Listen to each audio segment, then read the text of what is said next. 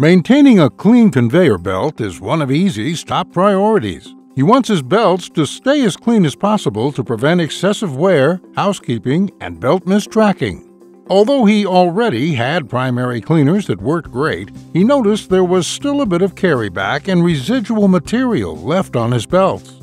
Easy turned to his trusted partners and experts in material handling. Benetech informed EZ heavy duty operations like his sometimes need a little extra reinforcement to get the last bit of residual material. That's where secondary belt cleaners come in handy. Benetech recommended their new BXS5 secondary cleaner with a self adjusting pneumatic tensioner. The BXS5 features high efficiency overlapping blades with superior wear resistance. The individual self adjusting blades ensure continuous blade to belt contact and are ideal for use on belts with mechanical splices as they allow the splices to pass without any damage.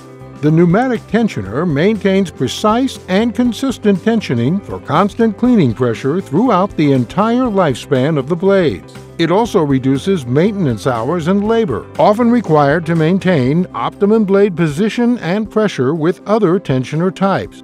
EZ loves his new secondary cleaner, and he especially loves that he doesn't have to perform tensioner maintenance very often.